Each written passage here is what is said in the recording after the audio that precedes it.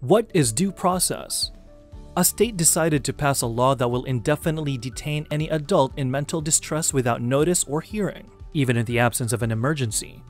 Given these facts, the court may conclude that the adult detainee's right to be free from government interference has been violated without due process. Due process is the legal requirement that a government must respect all of a person's legal rights before taking or limiting their life, liberty, or property. When a government takes or limits a person without following the steps required by due process, it is considered a violation of their rights. Due process includes certain protections. For example, you can't be forced to testify against yourself if your testimony will hurt your defense.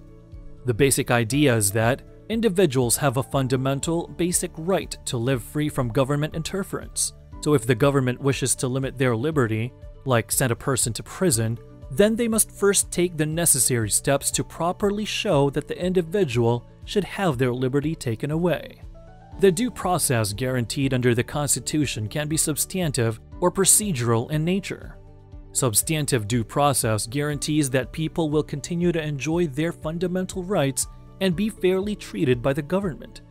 For instance, a state passes a law prohibiting the teaching of foreign languages in school because the state wants to make sure the students learn English. The court will scrutinize the state's interest in determining whether the law violates substantive due process or not.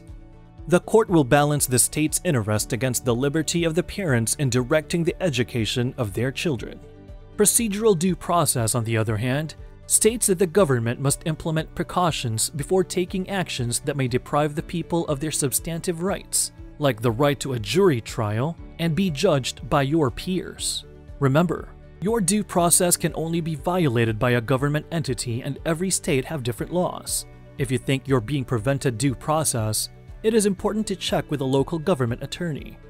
Legal Match can help you find the right lawyer. Go to legalmatch.com. You can post your case or call us at 415 946 0816.